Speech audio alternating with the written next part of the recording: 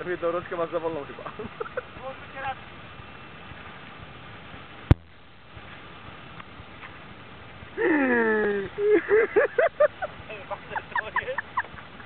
Oberwane to jest. Kurwa. Tu ja pana. Oberwało się!